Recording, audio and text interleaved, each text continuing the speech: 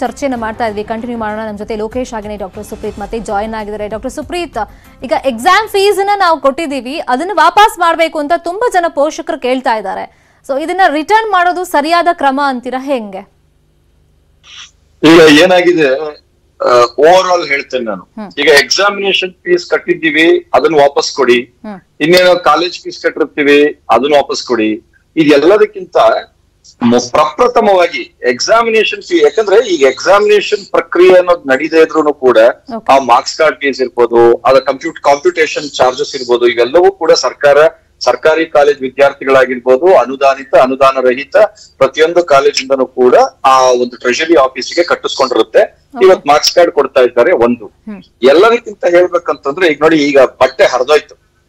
ಈ ಟ್ಯಾಪೆ ಹಾಕುವ ಕೆಲಸವನ್ನ ಯಾವ ರೀತಿ ಮಾಡ್ಕೊಂಡ್ ಬರ್ತಾರೆ ಅನ್ನೋದ್ರ ಬಗ್ಗೆ ಮೊದಲು ಚರ್ಚೆ ಎಕ್ಸಾಮಿನೇಷನ್ ಫೀಸ್ ಅಫ್ಕೋರ್ಸ್ ಯಾವತ್ ಬೇಕಾದ್ರೂ ಸರ್ಕಾರದ ಮಟ್ಟದಲ್ಲಿ ಅದನ್ನ ಕೇಳಬಹುದು ಅದನ್ನ ಪಡಿಬಹುದು.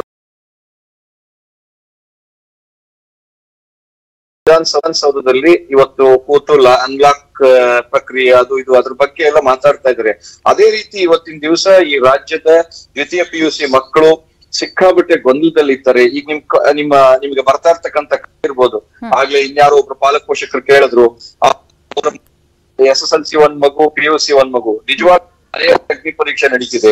ಅಂತ ಮಕ್ಕಳಿಗೆ ಮತ್ತೆ ರಿಜೆಕ್ಟ್ ಮಾಡಿರುವಂತ ಸ್ಟೂಡೆಂಟ್ಸ್ ಅವ್ರದ್ದೆಲ್ಲಾನು ತಗೊಳ್ಳಿ. ಮತ್ತೆ ಈಗ ಸಿಇಟಿ ರಿಲೇಟೆಡ್ ಎಕ್ಸಾಮಿನೇಷನ್ಸ್ ಈಗ ಒಂದ್ ಕಡೆ ಸಿಇಟಿಗೆ ಇಂಜಿನಿಯರಿಂಗ್ ಹೋಗ್ಲಿಕ್ಕೆ ಮೆಡಿಕಲ್ ಹೋಗ್ಲಿಕ್ಕೆ ಅಥವಾ ಅಗ್ರಿಕಲ್ಚರ್ ಇರ್ಬೋದು ಅವ್ರ ಕಡೆ ಗೊಂದಲ ಪಡ್ ಮಾಡ್ತಾ ಇದ್ರೆ ಇವತ್ತು. ಬೆಳಗ್ಗಿಂದ ನನಗೆ ಅಥವಾ ನಿನ್ನೆಯಿಂದ ನನಗೆ ಸಾಕಷ್ಟು ಕರೆಗಳು ವೈಯಕ್ತಿಕವಾಗಿ ಬರ್ತಾ ಇದೆ.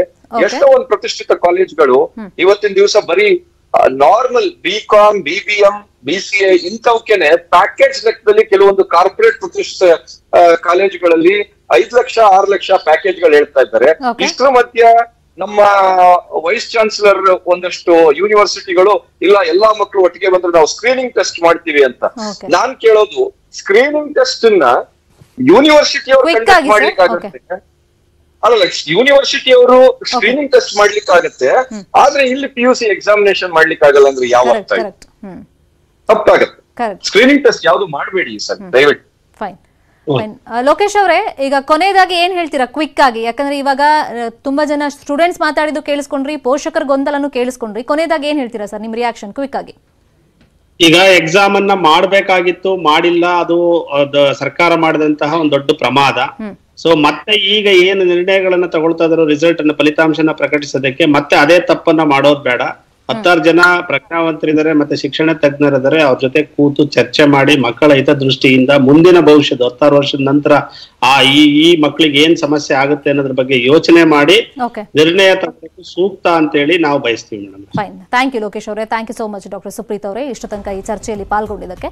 ಈಗ ಎಕ್ಸಾಮ್ ಏನೋ ಸರ್ಕಾರ ಕ್ಯಾನ್ಸಲ್ ಮಾಡಿದೆ. ಆದ್ರೆ ಯಾವ ಮಾನದಂಡದ ಮೇಲೆ ಗ್ರೇಡಿಂಗ್ ಕೊಡಬೇಕು ಅನ್ನೋದ್ರ ಬಗ್ಗೆ ಇನ್ನೂ ಕೂಡ ಗೊಂದಲ ಇರೋದ್ರಿಂದ ಆದಷ್ಟು ಬೇಗ ಇದಕ್ಕೊಂದು ಸ್ಪಷ್ಟತೆ ಸಿಕ್ಕರೆ ಪೋಷಕರು ನಿರಾಳರಾಗ್ತಾರೆ ಮತ್ತೆ ವಿದ್ಯಾರ್ಥಿಗಳು ಕೂಡ ನಿರಾಳರಾಗ್ತಾರೆ. ಇದು ಸದ್ಯದ ನ್ಯೂಸ್ ಅಪ್ಡೇಟ್ಸ್ ನ್ಯೂಸ್ ಮುಗಿತು.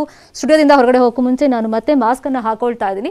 ದಯವಿಟ್ಟು ನೀವೆಲ್ಲರೂ ಕೋವಿಡ್ ಅಪ್ರಾಪ್ರಿಯೇಟ್ ಬಿಹೇವಿಯರ್ ಮರಿಬೇಡಿ ನೆಗ್ಲೆಕ್ಟ್ ಮಾಡಬೇಡಿ. ಹೊರಗಡೆ ಅಗತ್ಯ ಇದ್ರೆ ಮಾತ್ರ ಬನ್ನಿ. ಬಂದಂತ ಟೈಮ್ನಲ್ಲಿ ಸರಿಯಾದ ಕ್ರಮದಲ್ಲಿ ಮಾಸ್ಕ್ ಧರಿಸಿ ಸೋಷಿಯಲ್ ಡಿಸ್ಟೆನ್ಸ್ ಮೇಂಟೈನ್ ಮಾಡಿ, ಕೈಗಳನ್ನು ಸ್ಯಾನಿಟೈಸ್ ಮಾಡೋದು ಮರಿಬೇಡಿ.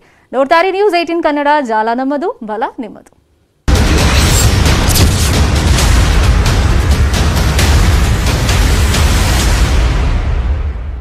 ಈ ವಾರ್ತೆಯ ಮುಖ್ಯಾಂಶಗಳ ಪ್ರಾಯೋಜಕ